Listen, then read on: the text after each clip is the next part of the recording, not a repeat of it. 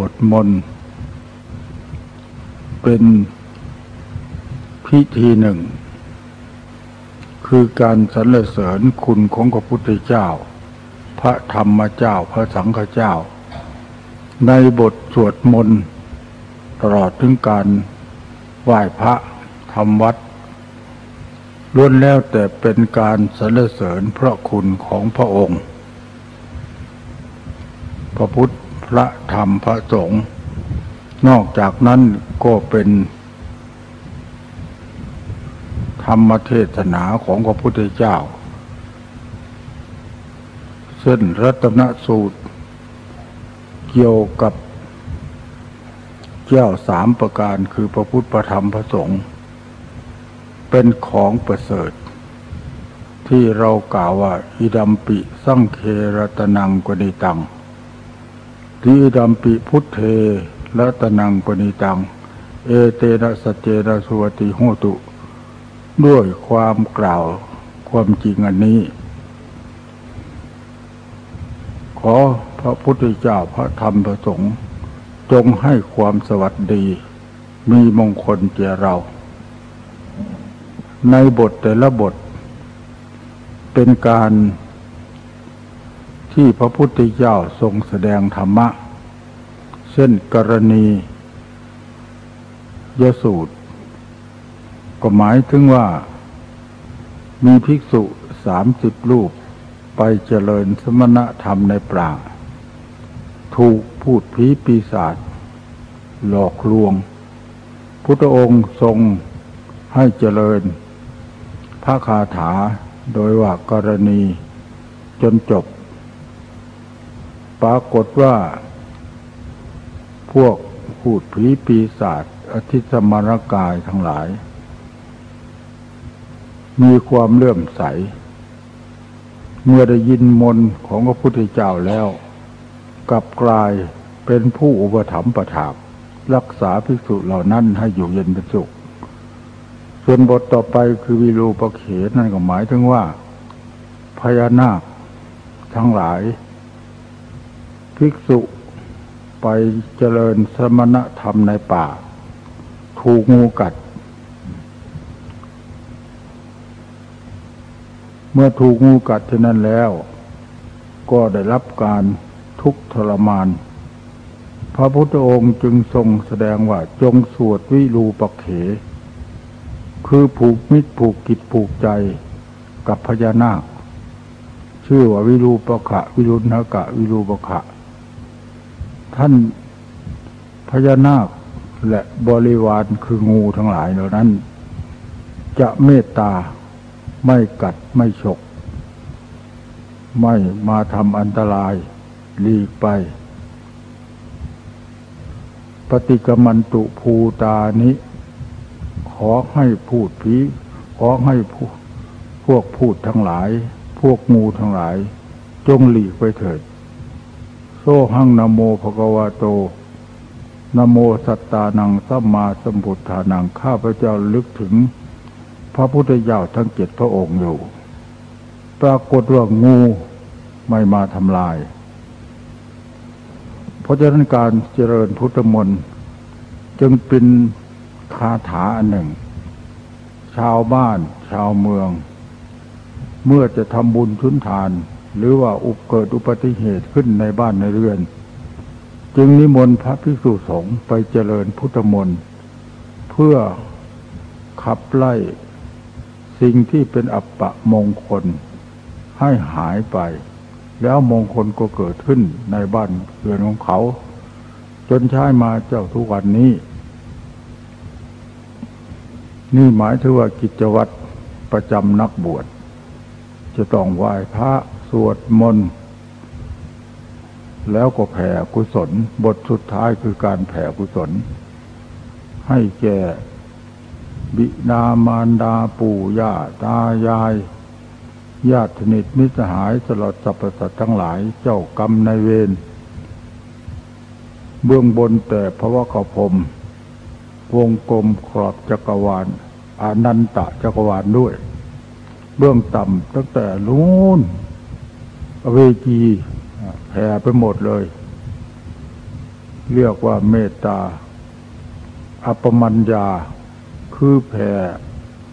ส่วนบุญส่วนกุศลไปในสรรพสัตว์ทั้งหลายทั่วทุกทิศทุกทาง ในทิศทั้งสี่ทิศเบื้องล่าง ทิศเบื้องบน เบื้องบนสถาน กลางที่ไหนแผ่ไปหมดเลย แปลว่าเรา เป็นผู้ไม่ตนีบุญ บางคนตนีบุญ ไม่แผ่ เข้าใจผิดว่าบุญน้อยนิดเดียว แผ่ไปแล้วมันก็หมด พระพุทธเจ้าบอกว่าการแผ่เมตตา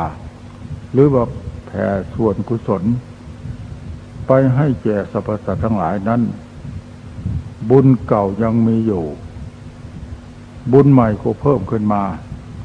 เพราะเรามีเจตนา ไม่ตนีทีเหนียว เปรียบอุปมาเหมือนกันกับมีเทียนเล่มหนึ่งจุดอยู่ ผู้ใดต้องการอยากจะได้ความสว่าง ก็เทียนเล่มที่สองที่สามที่สี่ที่ห้าที่หกไปต่อกัน ความสว่างก็ยิ่งสว่างขึ้นมามากขึ้นชั้นใดบุญที่เราทำไว้ ถ้าเราแผ่ไป ให้แก่สรรพสัตว์ทั้งหลาย เราก็ยิ่งได้บุญได้กุศล อันนี้เป็นจิตวัตรที่สำคัญเบื้องต้นกิจวัตรที่สองได้แก่การปฏิบัติธรรมะ การปฏิบัติธรรมะ คือยังพระธรรม ให้องค์สมเด็จพระสัมมาสัมพุทธเจ้า เจริญในจิตในใจของเรา พระสัทธรรมคำสอนของพระพุทธเจ้า เราต้องนำมาปรับพฤติปฏิบัติ ไม่ใช่ได้แต่ปากเฉยต้องมาปฏิบัติด้วย ท่านรู้จักชื่ออาหาร เช่นก๋วยเตี๋ยวมามีอะไรทำนองนี้ รู้จักชื่อ แต่ไม่เคยเอามากิน มารับประทาน ท่านจะมีความสุขแต่ยังไง พระปริยัติธรรมคือคำสอนของพระพุทธเจ้าก็เช่นเดียวกัน เมื่อเราเรียนได้แล้ว ก็ต้องเอามารับประทาน หมายถึงว่าปฏิบัติ ใครจะปฏิบัติได้แค่ไหนนั้นอยู่ที่ผู้ปฏิบัติ บัดนี้เป็นเวลาที่เราจะปฏิบัติธรรมะ คือนั่ง ปฏิบัติธรรม หรือที่เรียกว่านั่งภาวนา นั่งภาวนาก็คือการนั่งปฏิบัติธรรมธรรมอยู่ที่ไหน หาดูที่ธรรม อะไรเป็นธรรม อะไรเป็นวินัย ไม่ใช่ใจของเราหรือ เพราะนั้นเราจะต้องบังคับ มีกฎมีเกณฑ์ เช่น การนั่งสมาธิ เราจะต้องทำให้ถูกบทถูกเกณฑ์เช่น พระพุทธองค์บอกว่า เอาขาขวาทับขาซ้าย มือขวาทับมือซ้าย อุชุกายังปณิทายะ ตั้งกายให้ตรง ดูที่ตั้งกายให้ตรง ไม่หมอบไม่ใช่หมอบลง หมอบลงเป็นสมาธิหอย เกานั่นเกานี่เกาหัวไม่รู้หัวมันเป็นอะไรขี้กากหรือเปล่าไม่ใช่นั่นคือสมาธิลิง เกาจอกจอกแจ๊แจ๊เกาก้นเกาก้อยสาระมันทำไมยังเป็นคันเวลามานั่งสมาธิไปเห็นมันเก่าก็นั่งสมาธิเราเกาโน่นเกานี่เนี่ย นั่นน่ะลิง สมาธิลิง สมาธิง่วงเหงานอนก็คือสมาธิงู เป็นงูเนี่ยมันเป็นอย่างนั้น สมาธิอย่างหนึ่งก็เซซ้ายเซขวาเงือกหน้าเงือกหลัง นั่นคือสมาธิขี้เหล้าเคยกินเหล้ามาชาติก่อน พอมาปฏิบัติธรรมะ กรรมนั่นตามมาถ้าไม่คอไปทางนั้น คอไปทางนี้งึบงับงึบงับแน่ยมันเป็นอย่างนี้ เพราะนั้นท่านจึงบอกว่า เวลานั่งสมาธิเนี่ย เมื่อเราทำได้ถูกต้องแล้วกำหนดอธิษฐาน ว่าเราจะไม่เอาขาออกจากสมาธิ เราไม่จะเอามือออกจากสมาธิ โดยมากพวกเราพอนั่งสมาธิครั้งแรกก็ตีดอก พอต่อไปขาออกแล้ว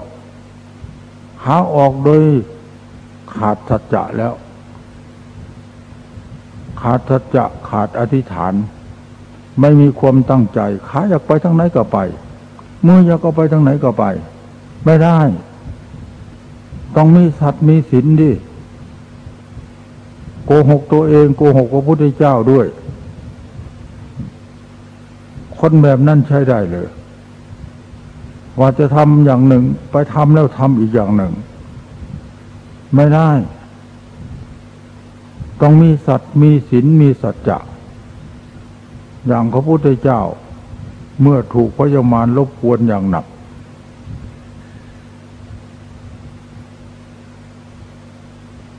เลยมือข้างขวาเอาออกไป มันลังมันลำลังควร แต่ในขณะเดียวพระพุทธองค์เอากลับเข้ามาอีก โทษมึง มึงเอากูครึ่งขนาดนี้หรือว่างั้น ถ้าเป็นนักมวย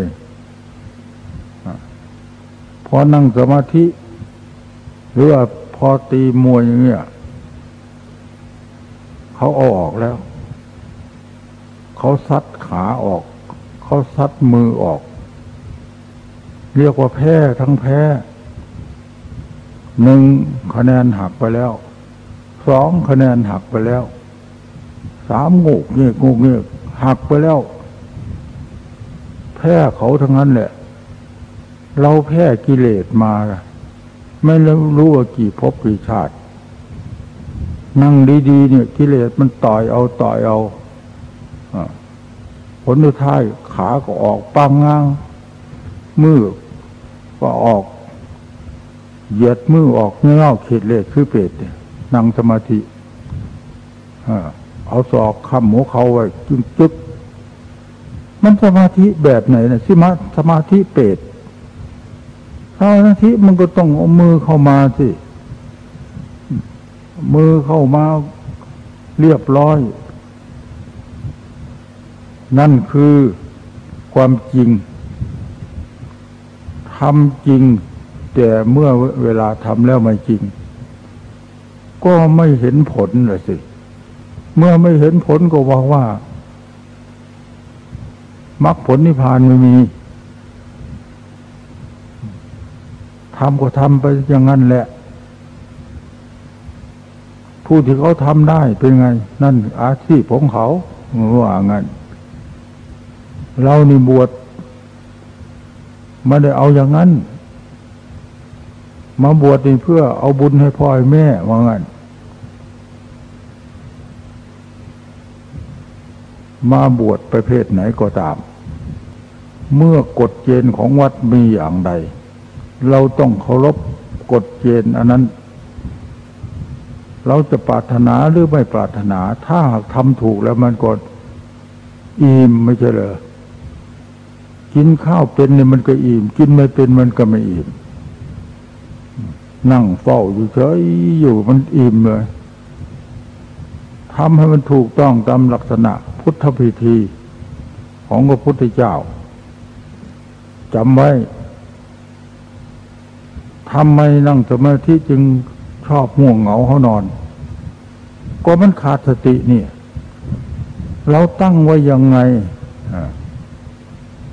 ต้องตั้งไว้อย่างนั้น ห้ามเด็ดขาด มือมันจะออกมีสติ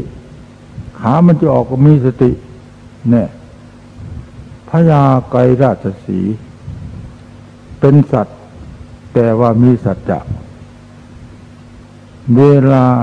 พระยาราชสีจะเข้าถ้ำคูหา ไปนอนอยู่ทั้งภูเขาเงินเขาทอง ในป่าหิมพาน เมื่อถึงเวลาจะหลับจะนอนพญาลัสีกำหนดทิศทางว่า หัวของเราไปทางไหน ขาของเราไปทางไหน หางของเราไปทางไหน เมื่อนอนก็นอนอย่างสีหะสยาตสีหะก็แปลว่าราชสีสยาตก็แปลว่านอน นอนอย่างสีหะสยาตพระพุทธเจ้าเอา แบบนอนของพญาราชสีมาสอนนักปฏิบัติให้นอนอย่างนั้น นอนตะแคงข้างขวา มือหลองลงไปตามตัวพญาลัตสีกำหนดว่า เมื่อเรานอน เมื่อตื่นขึ้นมา ขาออกจากกัน หางไปอีกทางหนึ่ง หัวไปอีกทางหนึ่ง วันนั้นเราจะไม่กินอาหารเป็นเด็ดขาด นี่มีสัจจะไม่พยาลาสสีมีสัจจะถ้าตื่นมาก็ต้องตรวจดูร่างกายเสียก่อน ว่าขาหัว หาง อยู่ในที่เดิม จึงลุกขึ้น ลุกขึ้นแล้วก็ ถึงเวลาก็แผดเสียงสามครั้ง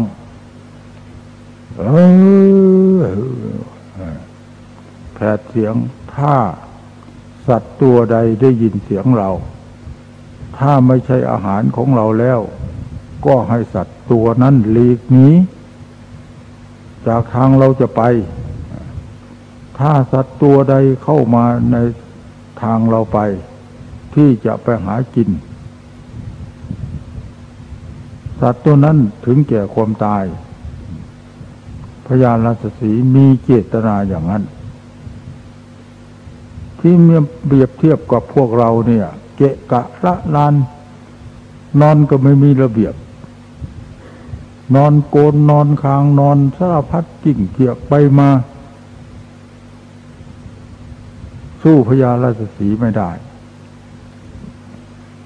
นี่คือพิธีการปฏิบัติธรรมะ พระพุทธเจ้า ท่านมีสัจจะ เมื่อท่านมีสัจจะท่านจึงได้ของจริง สัจจะคือความจริง มันก็เห็นของจริง คนที่ไม่มีสัจจะละละแหละแหละเนี่ยเอ้ยมันน่าเกลียดเหลือเกิน น่าเกลียดที่สุด นัดเวลาก็ไม่มาตามเวลา ว่าจะทำก็ไม่ทำตามคำที่พูดไว้ เราจะบวชเพื่ออะไร ไม่ได้ทำตามคำที่ตนเอง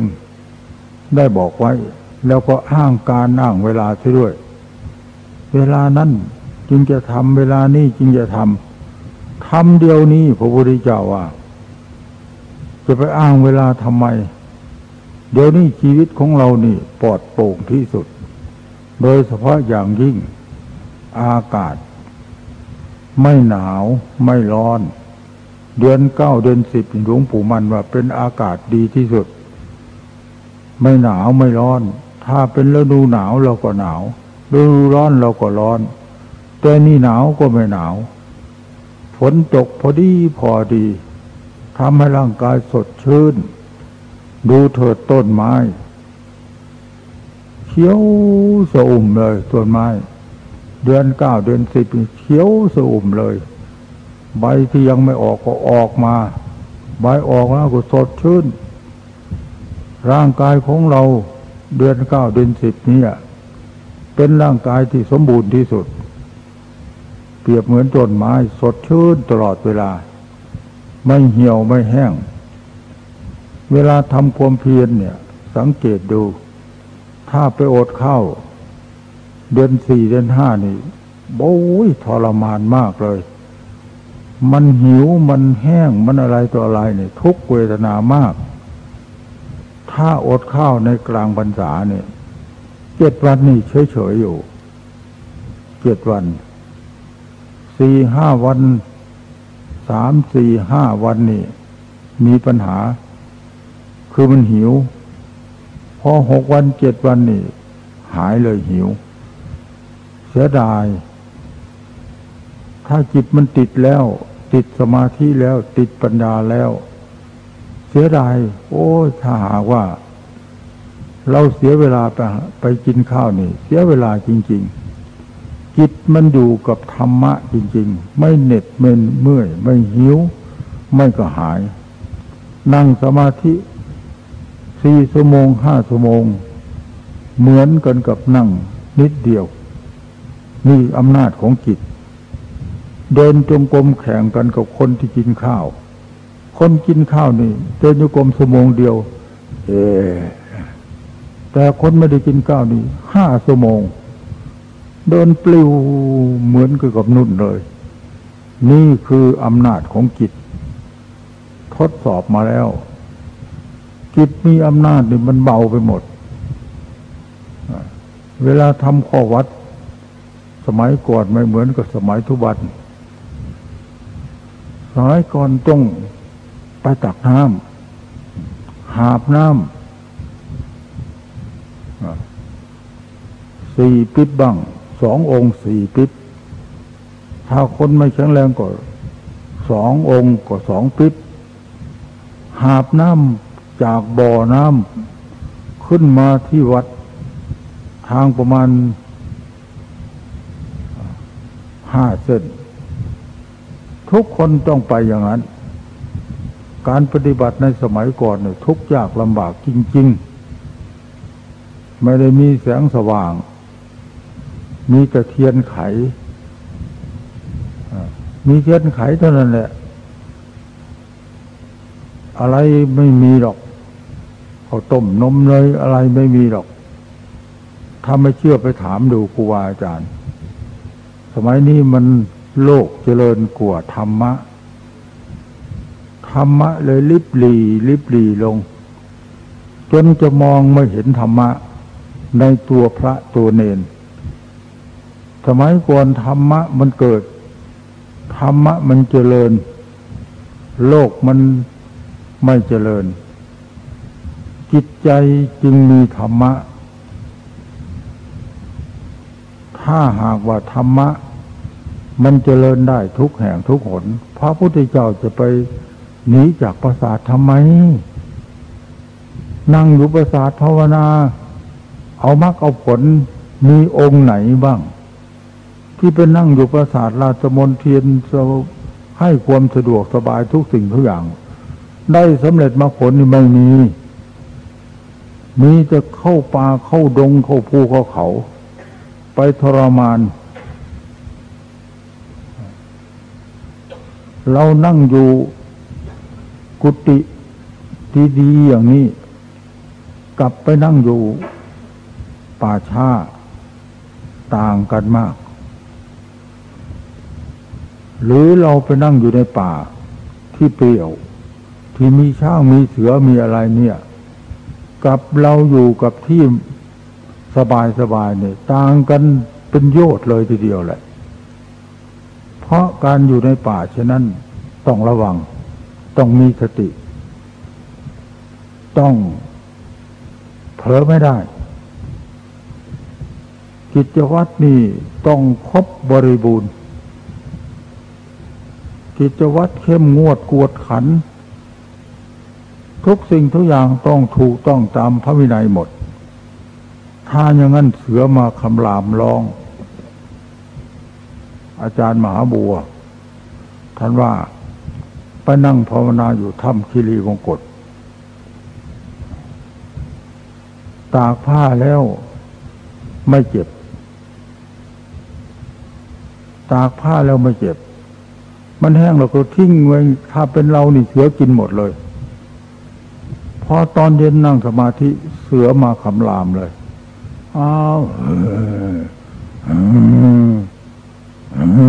เงื่อนตรวจดู โอ้ เราผิดอะไรเนาะวันนี้ โอ้ เราไม่กู้ผ้าอาบน้ำไม่เก็บผ้าอาบน้ำไว้ ตาเกะกะละลาน พอไปเก็บผ้า มาเรียบร้อยแล้ว เสื้อหายไปเลย นี่ ดูที่ผิดนิดหน่อยไม่ได้ ผิดพระวินัยไม่ได้ไปอยู่อย่างนั้น ต้องต้องเลยปฏิบัติเข่งคัดเลย ช่วยให้ภาวนาได้ดีที่สุด ถ้าไม่เชื่อ มันไม่มีเสือทุกวันเนี่ยถ้ามีเสือเรามาลองดูมันร้องขึ้นนี่ โอ้ยขนหัวนี่ลุกขึ้นมาหมดเลยพุทโธนี่ นบตลอด ไม่มีเผลอก็แล้วกัน เผลอได้ยังไง มันกลัวตาย เราได้มอบกายถวายชีวิตต่อคุณพระพุทธพระธรรมสงฆ์แน่วแน่แล้ว ตายก็ตายกับพระพุทธพระธรรมพระสงฆ์เป็นก็เป็นกับพระพุทธพระธรรมพระสงฆ์เมาไม่มีที่อื่นเป็นที่พึ่งแล้ว นั่น จิตมันเข้าถึงพุทธธรรมะสังฆะแน่นอน อันนี้เอ้ยสบายมาก ไม่มีอะไรเนี่ยแต่พานั้นยังกลัวพระบวชใหม่มาใหม่ๆไปเห็นกุดไกลๆบ้าง โอ้ยอยู่ไม่ได้กลัวกลัวว่างั้นขอนอนสององค์ได้ไหมไม่ได้บวชก็มาถ่ายมานอนสององค์ไม่ได้ มันผิด มันไม่ภาวนา บางคนก็เพนหนีเลย ไม่เอาดอกแบบไม่เอา นึกว่านอนด้วยกันไม่ได้ นี่ความกลัว การนั่งภาวนาต้องมีจุดหมาย มีสติ ไม่ใช่นั่งโง่โง่นั่งคิดนั่งอ่าน นั่งพิจารณา ตัวเองเนี่ย ก็เป็นการนั่งภาวนาเหมือนกัน ปรับปรุงแก้ไข จิตใจของเราเป็นแบบไหนอย่างไร ติดตามดูเสมอ ไม่ใช่นั่ง เอ นั่งเหงานอน ใจอ่อนๆเนี่ย ใจที่ปฏิบัติธรรมะต้องเป็นใจที่กล้าแข็ง แข็งแรงจริง ๆ ถ้าไม่แข็งแรงกดถูกกิเลสน็อกเอาตาย ที่พวกเราทั้งหลายถูกกิเลสน็อกอยู่ก็เพราะว่าจิตใจมันอ่อนแอจิตใจไม่แข็งแรง ถ้าจิตใจแข็งแรงแล้ว ตายเป็นตาย ถ้าไม่ทำอย่างนั้นปฏิบัติไม่ได้ ดูเถิด เวลานั้น ได้ยินข่าวหลวงปู่มั่นมาอยู่ในป่า เราพากันไป เดินไปด้วย เดินสิบห้าวัน จึงจะไปถึงลวงปู่มั่นอยู่ในภูเขาที่นี่คนที่กลัวก็ โอ้ยไม่ไปหรอก กลัวตาย กลัวเสือกิน กลัวกลัวทุกอย่างเลย ไปไม่อยากไปหรอก เรานี่ต้องยอมเสียสละ เอาตายก็ตายตายช่างหัวมันตายเพราะไปสร้างคุณงามความดี ตายเพราะไปหาครูบาอาจารย์เนี่ย ยอมตาย เมื่อไปสามองค์ เวลาจะเข้าไปหาหลวงปู่มันต้องไปองค์เดียว อย่าไปพึ่งองค์นั้นองค์นี้ไม่ได้ ต้องเด็ดเดียวเดินทางไปคนเดียว ถ้าไปเป็นมูลพวกหลวงปู่มั่นไม่รับ คนขี้ขี้กลัว คนขี้ลายถ้าว่างั้น คนอ่อนแอ คนจริงต้องมาคนเดียววางเลยมอบกายถวายชีวิตด้วยตนเอง มีท่านเลือกถึงขนาดนั้น จะไปไปเทระสามหรือสี่เอ้ยจ้างทำไมรับ มันคนขี้กลัว คนขี้ขลาด คนโง่ นี่ปฏิปทาของครูบาอาจารย์ต้องเด็ดเดี่ยว และเมื่ออยู่ในสำนักของท่าน ต้องระวังที่สุด การพูดการจาการตลกเฮฮาไม่มี แม้แต่การคิด คิดไปแอวสาวไปอันนั้นทำนองนี้ท่านรู้เลยตื่นเช้ามาท่านชี้หน้าเลย องค์นิ่มไปไหน เมื่อคืนนิ่มไปอะไรเนี่ยทำไมไม่สำรวมใจ นี่ เราจะเอาหน้าไปที่ไหนเหรอ ขนาดนั้นนะท่านคุมจิตคุมใจลูกศิษย์ลูกหาตีให้หนีจากกิเลสตัณหา นี่เราปล่อยจิตใจเป็นนึกไปตึกไปตองบวชอยู่ในวัด แต่ใจมันไปอยู่ในบ้าน เหมือนลงตาองค์หนึ่ง ที่อยู่เขาสิริกานั่นแหละ ที่เคยเทศให้ฟัง หลวงตานั้นนั่งคิดนั่งตอง มีลูกอยู่สามคน แบ่งมูลไม่รู้จะจบเลย ถ้าเอานาทุ่งนี้ไปให้คนนั้น มันจะพอใจหรือเปล่าบ้านมีหลังเดียวดีทำไง แบ่งอยู่นั่นแหละหลวงปู่มันนั่งภาวนาอยู่บนเขาสริกาทำสริกา ท่านฟองจิตลงมา เห็นลุงตานี่ โอ้ยแบ่งไล่แบ่งนาอยู่งั้นแหละ ตอนสว่างหลวงตาก็หลับไป ตื่นขึ้นมามาแบ่งอีก กลัวจะไม่ถูกใจลูกสาวใหญ่ กลัวจะลูกสาวน้อยจะเสียใจหลวงปู่มันก็พี่นาหลวงตาอยู่ทั้งไหนนาะเดี๋ยวนี้วะอ้าว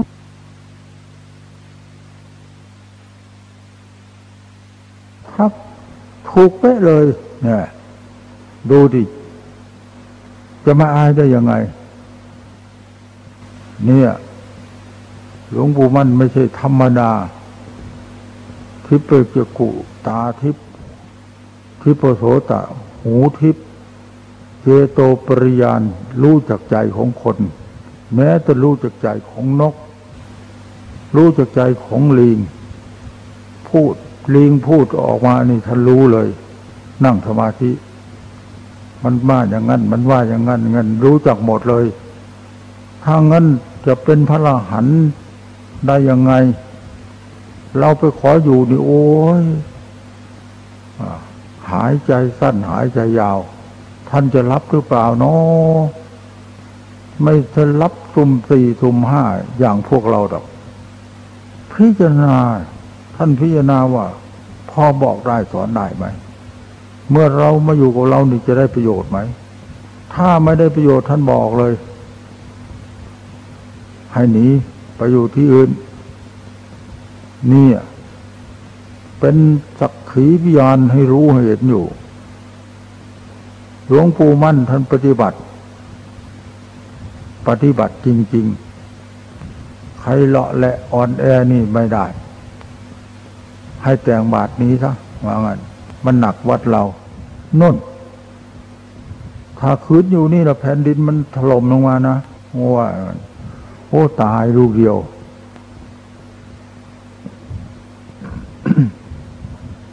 พวก พวกเราลองพิจารณาดูที่ครูบาอาจารย์ท่านปฏิบัติ นอกจากนั้นหลวงปู่ทั้งหลาย ที่เป็นล่มโพล่มชัยเป็นที่พึ่งพิงอาศัยจิตใจของพวกเรา ก็รู้แต่ไปฝึกหัดกับหลวงปู่มันทั้งนั้น หลวงปู่ขาวนี่ถูกเคกถูกไล่สารพัดเออ หลวงปู่ขาว อยู่จังหวัดเชียงใหม่ ไข้ หลวงปู่มันบอกว่า มันจะนอนไข้ตายอยู่นั่นหรือ ลุกขึ้นมาทำความเพียรที่เดินจงกรมที่จำเป็นต้องลุกขึ้นมา เพราะท่านไล่อะมันนอนตายไข้กินเนื้อเนื้อจำเป็นลุกขึ้นมาต่อสู้ เมื่อต่อสู้จริงๆแล้วกิจเป็นสมาธิไข้หายทันที เนี่ย มันเป็นเพราะจิตมันอ่อนแอ ท่านได้รับ รรมโอสถมาแล้วหลวงปู่มันท่านเคยไข้ท่านเคยเป็นอะไรมาท่านเข้าสมาธิบำบัดโลก ปรากฏว่าโลกหายถ้าไม่ใช่โลกกรรมหาย แล้วลูกศิษย์ลูกหาก็เหมือนกัน จะไปเอายาที่ไหนอยู่ในป่าคนนะไกลบ้านคู่บางคนมิตรยาลากไม้เท่านั้นเอง เพราะฉะนั้นจะต้องอาศัยธรรมะ คือใจที่หนักแน่น ต่อสู้เอาธรรมะเข้าไป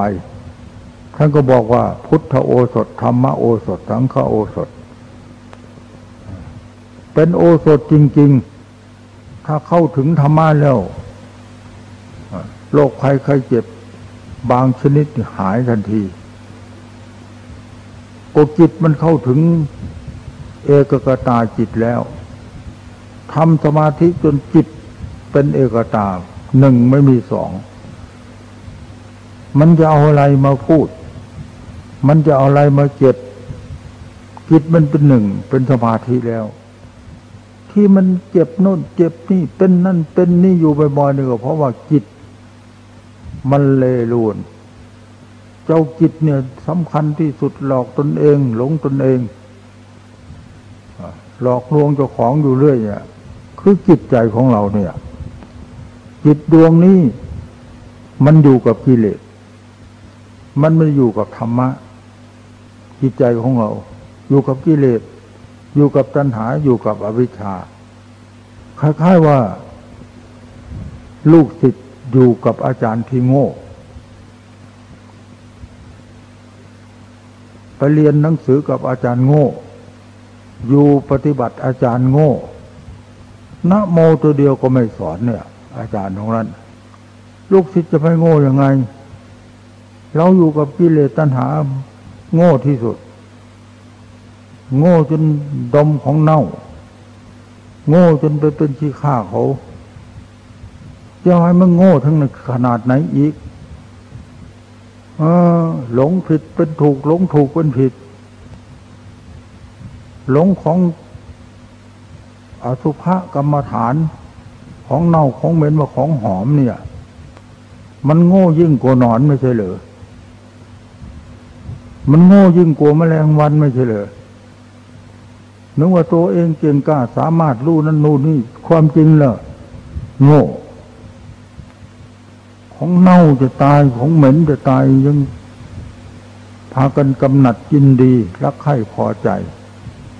หลงกลมัญญาสาไถของกิเลส กิเลสของเราเนี่ย ไม่ใช่ เป็นเพราะผู้หญิงไม่ใช่เป็นเพราะผู้ชายหรอก ผู้หญิงกับเป็นเพศเดียวกันนั่นแหละ มีธาตุสีดินน้ำลมไฟผู้ชายกับธาตุสีดินน้ำลมไฟ แต่เจ้ากิเลสเนี่ยเจ้าตัณหาเนี่ย มันปรุงขึ้นเองมันแต่งขึ้นเอง เพราะมันเคยอยู่ เคยกินเคย รับใช้กิเลส มันพูดคำเดียว ไม่ได้เทศมากเหมือนหลวงปู่หรอก กิเลสนี่เทศคำเดียวได้ผลเลย มีพระองค์หนึ่งบวชมาตั้งเจ็ดปี ท่านทำความเพียรอย่างมากเลย เพื่อจะหวังพ้นจากกิเลส พอมีผู้หญิงคนหนึ่งมาปวนาถ้าพระคุณเจ้า ปฏิบัติไม่ไปหน้าไปหลังก็ ขอนิมนต์บ้านของฉันก็ว่างๆ แล้วก็ไม่มีใครครอบครองสมบัติ นิมนต์ได้นะคะ เท่านั้นเองเทศไปถึงนาทีเลยปุ๊บเลยทีเดียว เออ ไปเลยผู้สาปฏิบัติมาถึงเจ็ดปีแปดปีแล้ว ผู้หญิงเทศคำเดียวนี่ไปเลย ในขั้งพุทธการท่านกล่าวว่า มีผู้หญิงคนหนึ่ง เป็นตาตาตาปฏินี เป็นดาบทผู้หญิงเก่งมากเลยคนนับถือทั้งเมือง พระพุทธเจ้าสมัยนั้นเกิดเป็นโพธิสัตว์ ไม่เชื่อหรอกว่างั้นไม่เชื่อยังไงคนนับถือทั้งบ้านทั้งเมืองอะ ถ้า ดสอบกันไหมทดสอบกัน เอาทดก็ทดลองก็ลองพุทธเจ้าเป็นโพธิสัตว์ บวชเป็นฤาษีเหมือนกัน แต่ปลอมบวชดอก ไม่ใช่บวชจริง วิกฎวิธีกลของพระฤาษีปลอมบวชนี่ทำท่านั่ง ไปนั่งในป่าช้า ก่อนพระฤาษตาตปตินีคือดาบทผู้หญิง พระคุณเจ้ามานั่งอยู่นี่ นานหรือโอ้นานแล้วอาตมาภาพเนี่ย พูดหลับตาเลย นั่งได้ถึงเจ็ดวันเจ็ดคืนนั่นโอ้ถึงขนาดนั้นหรือว่า ขนาดนั้นแหละจิตใจของอาตมามันแน่วแน่ท่านมานั่งอยู่ดีกลัวไหม ไม่กลัว จะกลัวอะไรนะเวลาตาปฏินีไปที่อื่นหนีไปซะไปหากินเหล้าซะไปที่พอตาปฏินีจะเข้าไปอยู่ที่ไปนั่งก่อนแล้วทำท่านั่งทำท่าปฏิบัติ ที่นี่ตาตานี ตาปฏินีหมายถึงดาบทผู้หญิง โอ้พระกุฎเจ้าเนี่ยน่าเลื่อมใสเลยเราจะไปถามความจริงว่า ท่านปฏิบัติถึงขนาดนี้แล้ว ท่านจะยินดีกับเรื่องโลกหรือเปล่านะตาตปณีตปฏินีเนี่ย ได้โอกาสก็ไปถาม ถาม ถามปัญหาธรรมะ ท่านก็แก้ได้บท เราก็ถามเรื่องจิตใจว่า พ้นแล้วหรือยังโอ้ยอาตมาปฏิบัติมาตั้งหลายปีแล้ว ปฏิบัติถึงขนาดนี้ จิตใจยังไม่อะไรเลย ยังจะฝึกจะหาอยู่ว่างั้นถ้าได้โอกาสดีๆอาตมาก็ว่าจะฝึกอยู่นะโอ้ถึงขนาดนี้มันจะฝึกอยู่แล้วฝึกขอให้ได้โอกาสดีๆมีคนมาปูรณาท่านก็ถามตาตะปณีเป็นยังไง